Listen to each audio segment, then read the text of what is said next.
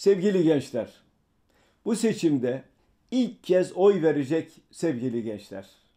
Bu gece sizinle çok özel, çok hassas bir konuda konuşmamızın zamanı geldi. Buna inanıyorum. Görüyor musunuz gençler? Duyuyor musunuz?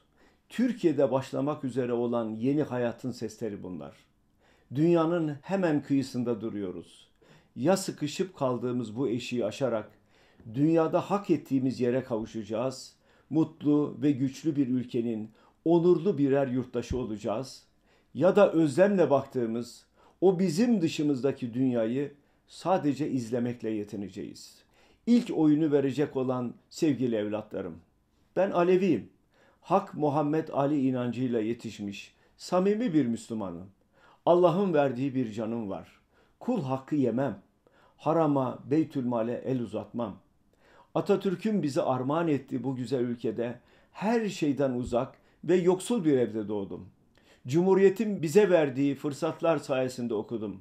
Mesleğim oldu, ailemi kurdum. Kimliklerimiz bizi biz yapan varlığımızdır. Ve elbette onurla sahip çıkmamız gerekir. Onları seçemeyiz. Onlarla doğarız, büyürüz ve yaşarız.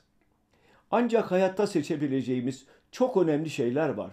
İyi bir insan olmayı, dürüst olmayı, ahlaklı olmayı, vicdanlı olmayı, erdemli olmayı ve adil olmayı seçebiliriz.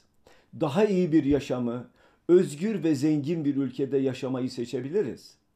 Ve bu seçimlerimiz hem bizi hem içinde bulunduğumuz toplumu hızla değiştirebilir. Sevgili genç arkadaşım, ülke olarak önümüzde bir eşik var ve bu eşiği hep birlikte aşabilmek için sana ihtiyacımız var. Unutma, tek bir oyla sen bu ülkeyi can yakan mezhep tartışmalarından, bataklığa dönüştürülen Orta Doğu'dan çekip çıkaracaksın. Ait olduğu yere taşıyacaksın. Artık kimlikleri konuşmayacağız. Başarıları konuşacağız. Artık ayrışmaları ve farklılıkları konuşmayacağız. Ortaklıklarımızı ve ortak hayallerimizi konuşacağız. Bu değişim seferimize katılacak mısın? Bu değişimde benimle birlikte duracak mısın? Alevi olmaz diyen bu sisteme doğru olan, dürüst olan, ahlaklı olan olur diyecek misin? Son bir el verecek misin? Bu ayrıştırıcı sistemi kökünden yıkmaya hazır mısın? Gelin gençler, gelin bu eşiği hep birlikte aşalım.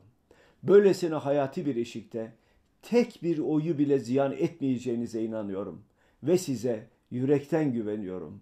Gözlerinizden öpüyorum sevgili gençler.